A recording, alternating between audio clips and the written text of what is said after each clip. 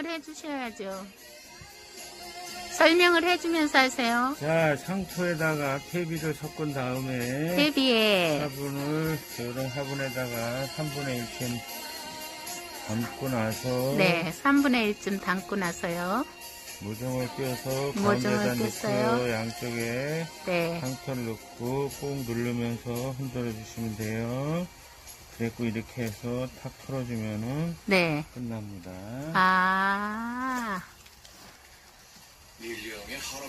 퇴비 상토에 퇴비를 좀 섞어서 9cm 정도 화분에 넣어서 반 정도 흙을 담은 다음에 모종을 하나 놓고 흙을 슈슈슈슈슈 솔솔솔솔솔 담아가지고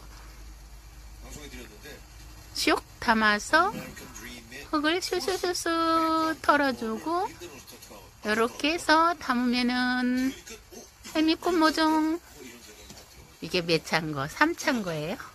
맨 처음에 씨앗 뿌려서 2차인 것도 있고, 어, 씨앗 뿌려서 어, 2차 이식하고, 어, 1차 이거 이제 큰 이식하고 트레이 59 트레이에다가 옮겼다가 59, 50공 트레이에다 올려 옮겼다가 이제 9cm 1년 지난 다음에 9cm 포트에다 옮겨 포트에다가 옮기는 중.